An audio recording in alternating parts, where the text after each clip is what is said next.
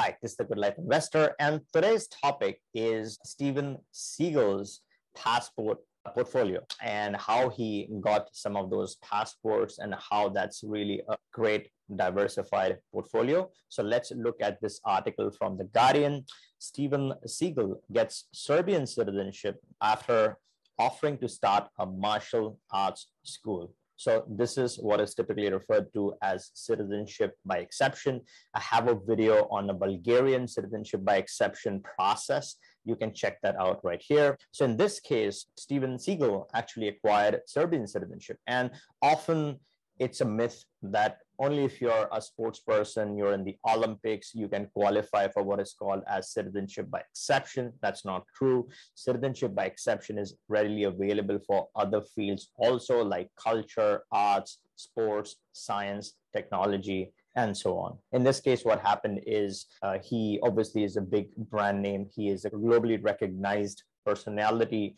So when he opens a martial arts school, then it, it, it's not just an ordinary person opening this institution, right? It's it's someone who has proved himself. So that's one of the biggest criteria is that are you successful in your field? And it's usually proven with documentation. Maybe you have documentation that provides that you are quite successful in what you're doing. Once you start a new business in a new country, because you have the backing of already being successful, there's good chances that you might continue to be successful in the new country adding more value to its society, giving people either more entertainment or more uh, progress in their lives, in turn benefiting the country, its economy, its culture, its its arts and whatnot. In those circumstances, the country can you can make a case, you can make a claim to your citizenship because you qualify, right? You're doing something that's in the law.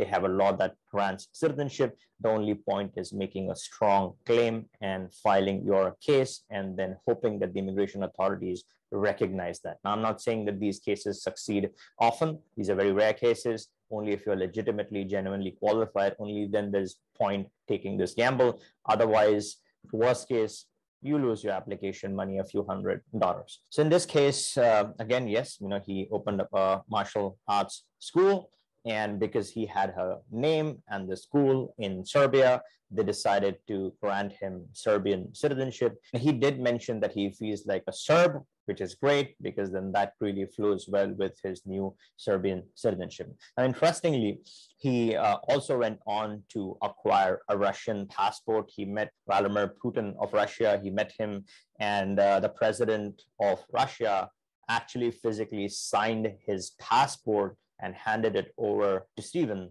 And that's how he completed his Russian citizenship by exception. Now, I'm not saying that you have to go get a Russian passport. Maybe that's not what you need. I'm just saying what he obtained. Those are his options. And now he has a portfolio of his original nationality, uh, Serbian nationality, a Russian nationality, and expands his options uh, globally. Hope you like this video. If you want to get started with your residency, which then leads to citizenship, click the link in the description, book a call, and we can discuss what best suits your specific needs. If you like this video, give me a thumbs up. And if you haven't already, take a moment, we'll pause, go ahead and hit that subscribe button so you get notified of all future videos and do it right now.